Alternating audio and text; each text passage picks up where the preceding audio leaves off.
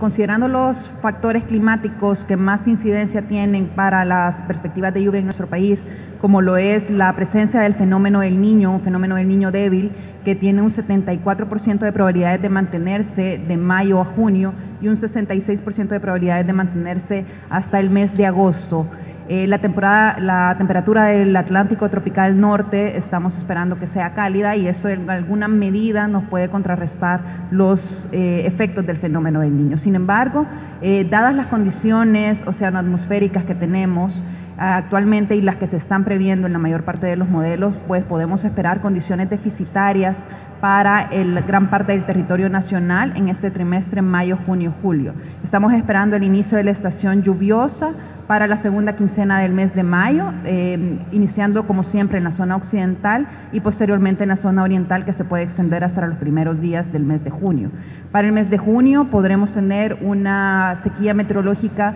de débil a moderada y también para el mes de julio estamos esperando una sequía meteorológica que puede ser de débil a moderada.